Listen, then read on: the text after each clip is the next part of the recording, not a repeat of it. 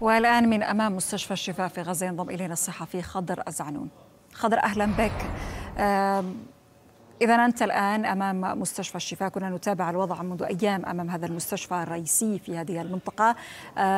ما زالت العمليات مستمرة ما زالت ما زال المستشفى يستقبل المرضى على عكس بعض المستشفيات التي خضعت للتهديدات الإسرائيلية بالإخلاء. لنتحدث بداية عن الوضع الميداني حيث أنت. نعم يعني مساء الخير لك ولكل المشاهدين. بالفعل يعني الغارات الإسرائيلية بصراحة لم تتوقف خلال الدقائق القليلة الماضية وكانت بشكل مركز في منطقة وسط قطاع غزة وتحديدا في منطقة المغراقة وأيضا منطقة وادي غزة ومخيم النصيرات ومخيم المغازي ومخيم البريج. إحدى الغارات استهدفت بشكل مباشر منزلا يعود لعائلة اللوحة في منطقة المغراقة. ما أدى إلى سقوط ضحايا. على الأقل ثلاثة من الضحايا تم انتشالهم ونقلهم إلى مستشفى شهداء الأقصى في مدينة دير البلح المجاورة. وأيضا سبق ذلك استهداف يعني مجموع عدة منازل هنا في مدينة غزة وأيضا في شمال القطاع حيث أنه تم استهداف أحد المنازل يعود لعائلة أبو القمصان في شمال القطاع. وخلال هذه الغارة التي نفذتها طائرة إسرائيلية يعني وقع ضحايا كل من كان في هذا المنزل يعني أصبحوا ضحايا نعم.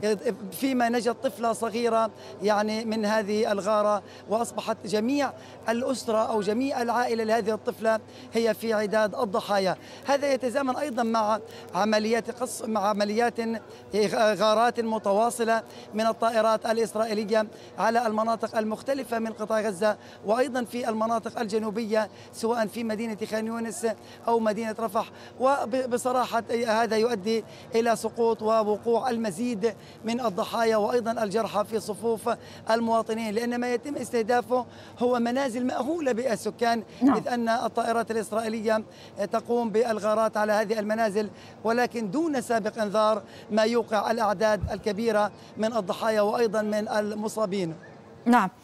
خضر الجيش الإسرائيلي وهو يتحدث اليوم عن استعداد استعداد للعمليه البرية المحتملة في قطاع غزة. هو جدد الدعوة لسكان قطاع غزة بالانتقال من الشمال إلى الجنوب أو النزوح من الشمال إلى الجنوب. هل حركة النزوح مستمرة؟ كيف تجري هذه الأمور؟ هل الطرق مؤمنة؟ هل يمكن فعلا للمدنيين التحرك من الشمال إلى الجنوب؟ بصراحة يعني واضح من الغارات المكثفة التي تشن سواء هنا على مدينة غزة أو في شمال القطاع واضح جدا أن هذا كله يمهد لعملية برية قد تقوم بها يعني قد يقوم بها الجيش الإسرائيلي يعني خلال الفترة المقبلة.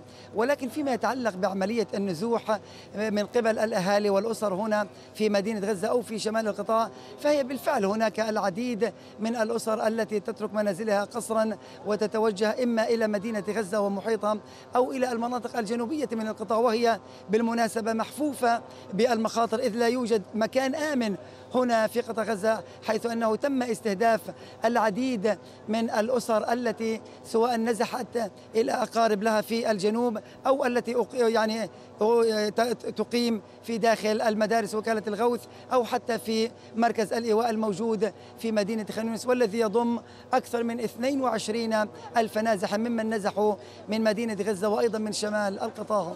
نعم. شكرا جزيلا لك على كل هذه المعلومات والتفاصيل. نتمنى لك السلامة ولكل فريقنا من أمام مستشفى الشفاء في غزة. كنت معنا الصحفي خضر الزعنون.